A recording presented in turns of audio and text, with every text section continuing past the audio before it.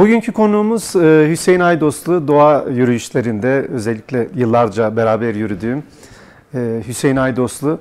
Bizlere doğayla ilgili hem e, yaşadıkları tecrübeyi hem götürdüğü katılımcıların yaşamlarını nasıl adapte olduklarını anlatacak. Hoş geldin diyorum Hoş öncelikle. kardeşim, Hoş bulduk. Ee, yıllardır zaten değil mi bu doğa yürüyüşlerini yaptırıyorsun. evet, 15 yıldır 15 yıldır. grubumuz var. Hep şunu soruyorlar. e, Ankara'da gidilecek yer var mı ki siz böyle doğa yürüyüşü yapıyorsunuz? Bu sorular geliyor mu? Geliyor, Çok sık sana. Geliyor ama olmaz mı diye başlayan cümlelerle cevap veriyoruz. Ee, aslında biz Ankaralılar biraz da şehir içine e, iş yoğunluğu, günlük hayatın yoğunluğundan dolayı kendimizi hapsetmiş durumdayız. O kadar yakın mesafelerde o kadar güzel cennetler var ki yani sadece yürüyüş için değil bir gününüzü rahatlıkla doğada geçirebilmek için harika yerler var. Aslında gelenlerin biraz da terapisini sağlayan hani bir doktor e, ne diyelim? Doğanın doktoru. E, böyle stresini atmak isteyen yaşamda sıkıntıları olan insanların değil mi? Birebir böyle Evet, gelip de orada e, senin de tabii rehberliğinle götürdüğün yerler önemli tabii. tabii. O, o tür insanlar da böyle hani geri dönüşümlü sohbetlerde ya iyi ki beni götürdün, iyi ki bu doğadayım e, diyen çok olmuştur herhalde. Çok taze bir cevabım var. Ee, Daha dün e, çok güzel bir 14 kilometre yürüyüş yaptık. Kızılcahamam Akyarma tarafında. 25-30 metrelik sarı çamlardan oluşan harika bir ormanda yürüdük.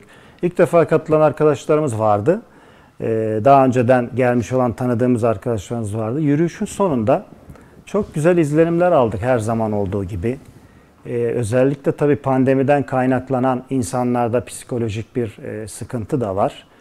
Ee, kendi araçlarımızla giderek harika bir yürüyüş yaptık. Hepsinin geri dönüşü çok mutlu olduklarına dair zaten beden dilleri e, bize bunu e, hiçbir şey söylemeden de onlar rahatlıkla Değil anlatabildi. Görüyorsun yüzündeki o tebessümü, Evet, evet. Rahatlığı. Çok mutlu oluyoruz tabii. Öyle olunca çok mutlu oluyorum.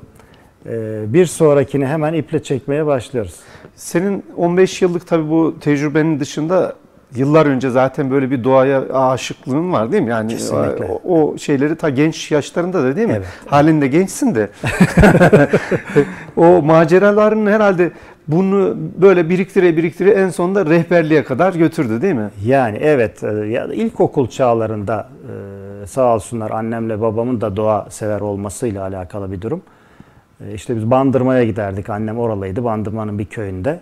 E, Köyde elektrik bile yoktu o zaman. E, Ya orada yaşadığımız doğayı ben hiç unutmadım. E, İşte lise yıllarında da otostopla Türkiye'nin önemli bir kısmını Oo, güvendiğim sağlam bir arkadaşımla gezdik. Anılarımızı edindik, insanımızı tanıdık.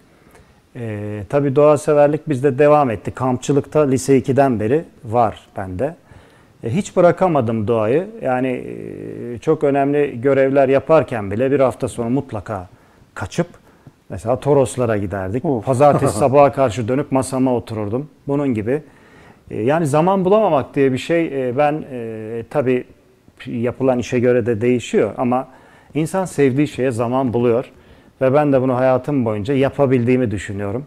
Hani insanlar bahane uydurur ya mesela bizim fotoğraflarımızı görüyorlar insanlar işte sosyal medyada paylaşıyoruz. Çok istiyoruz biz de gelmek istiyoruz. Tamam diyorsunuz buyurun gelin. O hafta davet ediyorsunuz muhakkak e, hava durumuna gökyüzüne bakıp sabahleyin değil mi çok fazla erteleyenler oluyor yani. Evet, evet.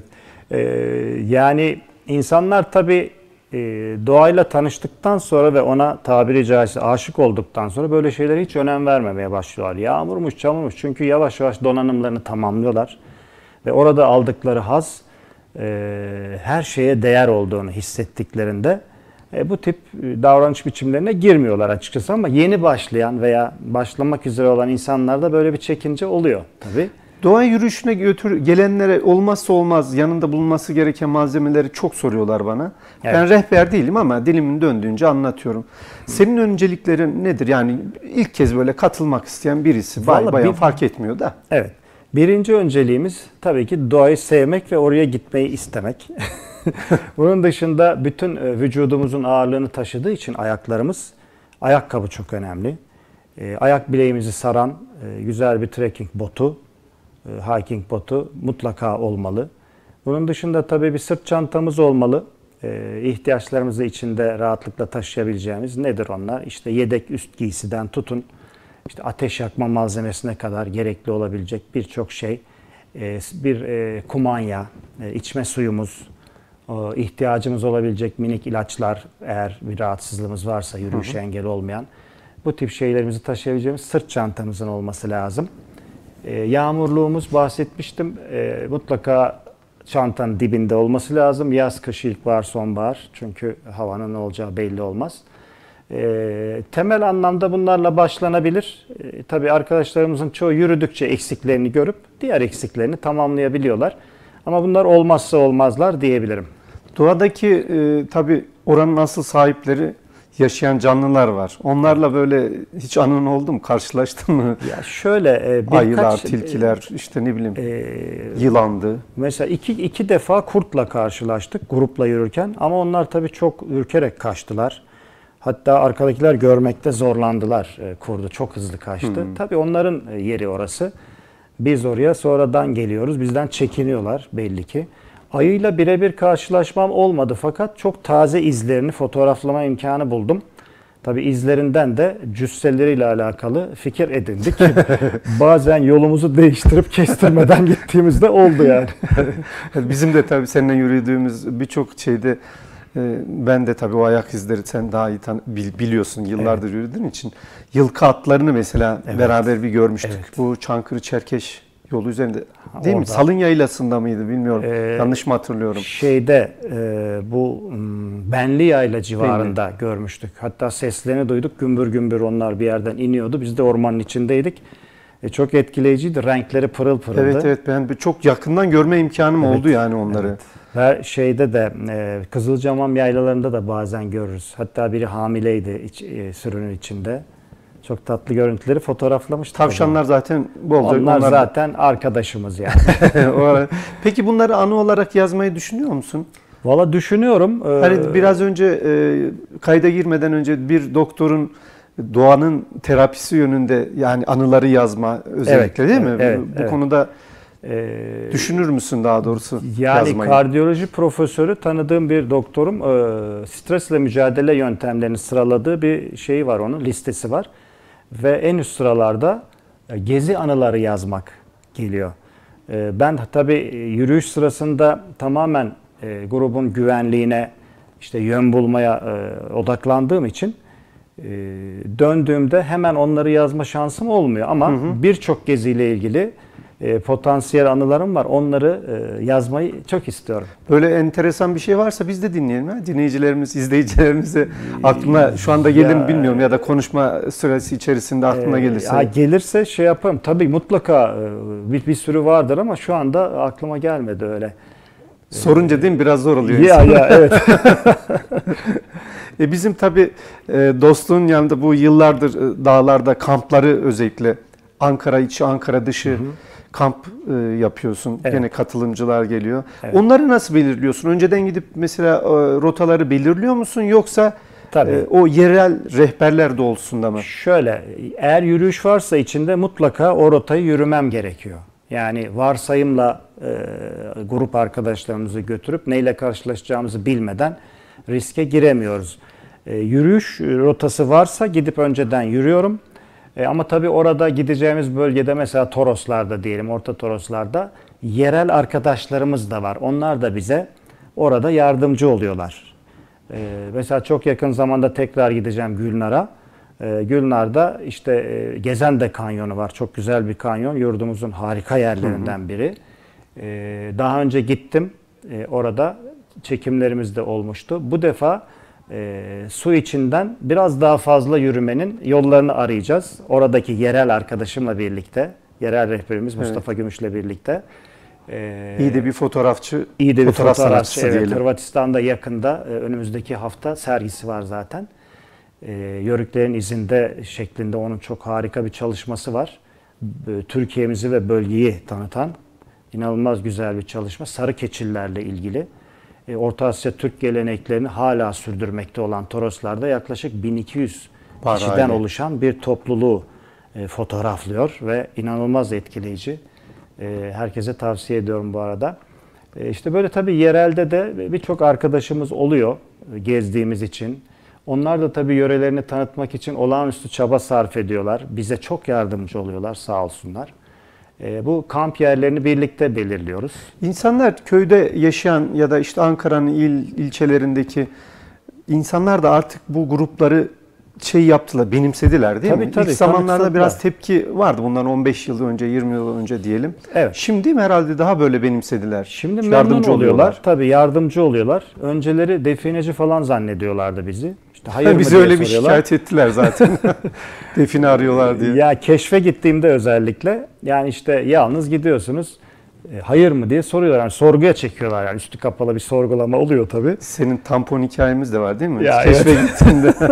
İşte ilginç bir hikaye dedik ya Değil mi? tamponu anlatabiliriz. tabii tabii vallahi dinlerim. Ee, şey Aluç Dağı, Çamlıdere Aluç Dağı'na keşfe gitmiştim ben. Ee, cumartesi günü gittim. Pazar günü de işte sizi yürütecektim, Evet. grubumu yürütecektim. Ee, cumartesi e, işte benim bir arabam vardı yere yakın. Onunla yaptım keşfi. Başka arabamız yok tabii. Ee, Ankara'ya geldim. Hiçbir şeyden haberim yok. Ee, yani akşam bir baktım tampon yok arabanın. Ön tamponu yok. Plastikte ama yok. E şimdi ne yapacağız? E, Kim bilir nerede düştü bilmiyorum. Hiç aklıma gelmedi. Neyse ertesi gün yürüyüşe geldik hatırlarsın. E, rotada yürürken benim tamponu gördük. Meğer keşif sırasında orada kalmış tampon. Hiç haberim yok. Sonra ben onu omzuma almıştım. Sen de güzel bir fotoğraf Evet, çekmiştin. Sevgili izleyiciler, e, Hüseyin Aydos da aslında her etkinliğin sonunda bir de bize çok nefis yemekler yapar. Yani aşçılığı da var bu konuda. Sağ ol. Ee, inanılmaz bir şeysi var. Şimdi bütün gruplar yürüyor fakat sen böyle bir ayrıcalık yarattın kendi grubun adına. Ya şöyle oldu. Niye o- öyle mesela hani diyor ya insanlar biz gezmeye gidiyoruz ama Hüseyin e, hocamız e, yürüyüş sonunda, trekking sonunda e, bize öyle bir yemekler hazırlıyor ki biz tekrar kilo alarak dönüyoruz. Birincisi hani İşin yürüyüş, esprisi tabii o da. Ya tabii yürüyüşlerde amacımız bizim kilo vermek değil tabii ki. Ama tabii ki dengeli beslenmek hayatımızın her alanında gerekli bir şey. E, Ben yürüyüş grubu kurmadan önce e, kendim de tabii çok yürüdüm. Bu yürüyüşlerde mesela günde 10-15 kilometre yürüyorsunuz. E döndüğünüzde bir çayınız olsun, bir yemeğiniz olsun. Bunu ben sevdiğim için e, bir de tabii bizde sofra geleneği de var. Türk geleneğinde sofra adeti. Yemek yerken insanlar çok daha güzel sohbet edebilirler. Yürüyüş bir tür meditasyon tabii ki. Meditasyon devamı şeklinde yemeği de katmayı uygun buldum. Çok da güzel oldu. Hiç de bırakmadım. Şimdi sadece pandemi nedeniyle işte yaptığımız şeylerde ikram yemek falan yapmıyoruz temas olmasın diye. Ama bu e, pandemi geçtiğinde yine aynı şekilde yürüyüşten sonra yemek yemeye devam, Devam diyorsun. edeceğiz. Evet. Peki bu e, Covid-19 dünyayı sarstı biliyorsun. Ne kadar süre bu etkinlikler ara verdin? Doğa yürüyüşlerine. Ben bir yıl beş ay e, grup etkinliği yapmadım. Özlemiş mi peki grup arkadaşlar? özlemiş, Şimdi çok özlemişler. herhalde ikinci kez değil mi başta? Bu üçüncü Üç. oldu. Kendi araçlarımızla şimdilik gidiyoruz. Buluşma yerimiz var. Orada buluşuyoruz. Hı hı. Ee, işte hepimizin HES kodu var. Ee, zaten aş, iki aşımız da yaptırmış çoğunluk var. Ee, o nedenle böyle buluşup birlikte gidiyoruz. Bu üçüncü haftam. Gelişmelere bakacağız. Ee, göre vakalarda ani bir sıçrama olmazsa yavaş önümüzdeki yavaş maçlara bakacağız. önümüzdeki maçlara bakacağız. Ya en çok sorulan bir de şöyle bir soru var Hüseyin e, hocam. İşte ilk kez katılmak istiyor. Ya bir gününü nasıl e, geçiriyor bu yürüyüşe katılan, doğa yürüyüşüne katılmak isteyenlerin en çok sordukları soru. İşte binecekleri duraklar. e, O gün bir günlük mesela e, yaşantı nasıl oluyor? Ee, şu buluşma yeri var. isteyenlere Evet, özellikle. gene buluşma yerimiz var. Biz kendilerine bildiriyoruz. Daha önceden yasal prosedürün yerine getirilmesi için bazı bilgiler alıyoruz kendilerinden. TC numaraları gibi. HES, Tabii, tabii. TC kimlik no'ları gibi falan. Ee, Ondan sonra buluşma yerinden her birini alıyoruz. Ee, Yürüyüşümüzün e, başlayacağı noktaya gelmeden önce, çünkü sabah erken saatte buluştuğumuz için evden kahvaltı yapmadan hızla çıkmış arkadaşlar olabilir ihtimaline karşı.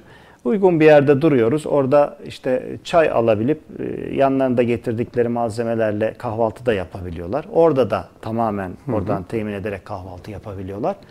Kahvaltı faslı bu şekilde bittikten sonra çünkü yürüyüşe başlamadan önce mutlaka kahvaltı yapılmış olması lazım. E, kan şekeri dengesi açısından. Bunu sağladıktan sonra yürüyüşümüzün başlayacağı noktaya kadar e, araçla geliyoruz. Araçlarımızdan inip hazırlıklarımızı yapıyoruz. İşte tozluklarımızı takıyoruz, batonlarımızı ayarlıyoruz, almamız gereken şeyleri alıyoruz. Ve genel bilgileri verdikten sonra da öncü rehberimiz artçı rehberimizle beraber yürüyüşe geçiyoruz. Ha, yürüyüş sırasında da tabii her türlü performansa sahip arkadaşlar olabileceğinden önce bir kilometremiz sadece bir deneme yürüyüşü şeklinde geçiyor. Onları biz gözlemliyoruz rahatsız etmeden. Ee, bakıyoruz performans durumlarına göre e, o günkü performans şeklimizi belirliyoruz. Yani hızımızı, yürüyüş Gelen hızımızı. grubun Tabii değil onlara, durumuna göre. onlara göre. Ee, bu şekilde herkese hitap eden bir e, etkinlik olmasına özen gösteriyoruz. Yani illaki herkes belirlenen hızda yürüyecek diye bir kuralımız yok. Hiç çekinmesinler. Çünkü bizler orada onlar için varız zaten. Olabilir. Ben de rahatsızlanabilirim o anda. Biz her şeye hazırız. İlk yardım bilgimiz var. Ee, ne yapılacağını biliyoruz. Güvenle gelebilirler ve e, yürüyüşlerine devam edebilirler. Yaklaşık işte öğleye doğru e, uygun bir yerde yine yemek yeme içme molası veriyoruz. Sırt çantamızda taşıdığımız malzemelerle. Orada da bir dinlenme oluyor. Bu arada sohbetlerimiz devam ediyor tabii. Bir sıkıntı olup olmadığını yine rahatsız etmeden arkadaşları sohbet sırasında öğrenmiş oluyoruz. E, öğleden sonra da özellikle yazın e, toleransımız biraz daha fazla ama kışın havanın kararma saatinde dikkate alarak belli bir saatte bitiriyoruz. Aracımızın bizi bekleyeceği yerde yürüyüşümüzü bitiriyoruz. Orada tabii bizi çayımız bekliyor. Bir yorgunluk oluyor tabii. İşte yemeğimiz En güzeli de bekliyor. o değil mi? Tabii. Ee, güzelce Final. E, evet yiyip içip sohbet ettikten sonra da yine aldığımız noktalara bırakarak e, Ankara'da bitiriyoruz yürüyüşü. Peki sen e, e, olur yani ileride böyle bu yine yürüyüşleri devam ettirecek elemanlar, ya arkadaşlar yetiştiriyor musun? var, mı tabii, öyle? tabii tabii var. Nasıl performanslar olur mu? Olur, olur. Ee, Yani şu anda benim artçı rehberliğimi yapan arkadaşım var, İsmail. Ee, O bu işte tabii yetenekli olduğu için aslında e, onunla birlikteyiz. Çok güvenilir sağ olsun. Fiziksel anlamda, ruhsal anlamda da güçlü. Çünkü e, insanlara bir bir tür hizmet veriyoruz biz. Yani e, bizim mümkün olduğu kadar profesyonel olmamız onlar için bir güvencedir. Tabii tabii. E, isim olarak ben e, onu da sorayım. Orion neden Orion? Bir de e, Orion gece e, yıldızı diye aklımda kaldı ama sen daha detaylı bilgiler verirsin. Şöyle, e, Orion e, dünyanın da içinde bulunduğu Samanyolu galaksisinde bir takım yıldızı, avcı takım yıldızı diye, yıldızı diye geçer. E, oğlumla astrofizik merakımız da var. Aslında grubu ilk kurduğumda, kurarken daha doğrusu oğlumun önerisiyle kabul ettim. Ha. Çünkü e, biraz Bizim evrensel... lafını e, unutma. Bizim mesela bindiğimiz bir evimizin asansörü var. O da Orion. Orion. var. Reklama var. Vallahi. Ee, işte biz hani insan doğasını aslında sadece şu ana kadar keşfettiği dünyadan ibaret olmadığını düşünüyoruz. işte o Big Bang teorileri falan e, bunlar bunlar bize bu, bu konuyu hatırlatıyor. Astrolojiye de şey var yani. Astrofizikle ilgileniyoruz. Evet, e, gelişmeleri anlık olarak NASA'dan, şuradan bu dünyadaki belli başlı güvenilir bilim merkezlerinden takip ediyoruz. O yüzden de e, insanın doğasının sadece e, gezebileceği bu dünyadan ibaret olmadığı fikrinden çıkan e, pek hani reklama ve albeniye uygun olmayan ama bir mesaj veren isim olduğu için Orion ismini koyduk. Çok güzel. E, memnunuz. Peki şimdi bu sosyal medyada bizi izleyenler e, sana ulaşmak isterse e, iletişimi sosyal medya üzerinden nasıl e, kuracaklar? E, Valla Facebook'ta sayfamız var. Ankara Orion Trekking Doğa Grubu diye. hı. Instagram'da da sayfamız var. Ankara Orion Trekking diye. Ayrıca benim kendi adıma internet e, şeyde pardon e, Facebook'ta sayfam var. Aynı amaçla. Orada gezi fotoğraflarını paylaşıyoruz. Efendim işte e, gezi programlarımızı, duyurularımızı paylaşıyoruz. Oralardan ulaşabilirler. En yakın şimdi e, böyle gezi olayı mesela dinleyip de katılmak isteyen Ankara bölgesinde mi olacak yoksa Ankara dışında mı? Ee, Ankara bölgesinde olacak yine ama bayramdan sonra olacak. Önümüzde Kurban Bayramı var biliyorsun. Ee, şimdi bayram tatili için ve biraz keşif 10 için. gün herhalde değil mi? Böyle cuma cumadan başlayan öbür cumaya kadar Evet. böyle evet. bir uzun zannedersem Bayram tatil. tatili süresince e, yapmayacağız etkinlik. Ha, ben zaten yok. duyuruyorum arkadaşlara çeşitli kanallarla. Bir de bizim e, WhatsApp e, grubumuz var. Sadece yürüyüşçülerden oluşan ve sadece duyuruların yayınlandığı, sohbet olmayan. E, yürüyüş yapmak isteyen arkadaşlar e, bizi Facebook'tan veya e, Instagram'dan telefon numaramızı öğrenip telefon numaralarını da verirlerse onları WhatsApp grubumuza da alıyoruz. çok Bö- güzel. Böylece iletişimimizi sağlıyoruz. Kaç bin kişi yürütmüşsündür şimdiye kadar? Hiç böyle kafanda bir Vallahi Ee, hiç çok- saymadım. Öyle bir düşünmedim. Ee, ama çok çok çoktur herhalde yani öyle düşünüyorum. 15 yıl içinde değil mi? Yani 15 yıl için. en az 20 kişi düşünmüş olsak yani bir yürüyüşte değil mi? Bayağı bir Evet. grup seninle yürümüş. Ve aralıksız e, her hafta sonu. Bunun tabi Ankara dışı da var. E, bazen 3 gün yürürüz. Mesela Ankara'da bir gün yürüyoruz. Pazar günleri. E, ve Likya yoluna gittiğimizde, Kare yoluna gittiğimizde mesela 3 gün de yürüdüğümüz oluyor. 4 gün de yürüdüğümüz oluyor. Ee, yani bir hayli arkadaşımızı yürüttük ve çok mutluyuz şu anda. Bu rehberliğin yanında tabii asıl bir de mesleğin var senin değil mi? E tabii. Onu hiç konuşmadık. Ben e, Kültür ve Turizm Bakanlığı'nda memurum aynı zamanda.